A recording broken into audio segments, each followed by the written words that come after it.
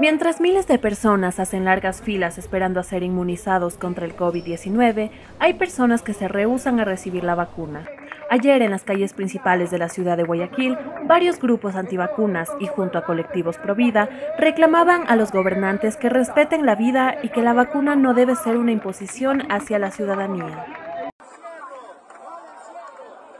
Estas manifestaciones se generan a partir de que el carnet de vacunación se ha convertido en un requisito para entrar a diferentes lugares como la metrovía, centros comerciales o restaurantes.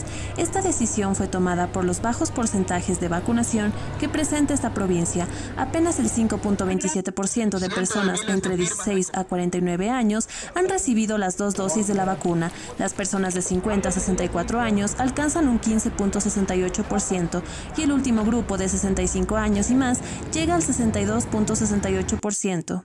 El analista político Alejandro Zavala afirma que es complicado que este ausentismo no se siga provocando si no existe un buen plan de comunicación. Esta segunda fase que va a implementar el gobierno va a dar los resultados que esperamos en menos evidentemente menos en estos grupos que son extremadamente fanáticos ya, ¿no? La medida no solo se ha tomado en esta ciudad. En Loja, desde el próximo 9 de agosto, también regirá esta medida obligatoria para las personas mayores de 16 años que quieran entrar a lugares concurridos. ¿Cuál es el concepto de la, estrategia de comunicación? En este caso sería el concepto hay que vacunarse para no morirse. Entonces es lo más importante que la gente entienda ese concepto, que lo asimile, que lo tenga grabado en su cabeza, que no se va a morir si es que se vacuna.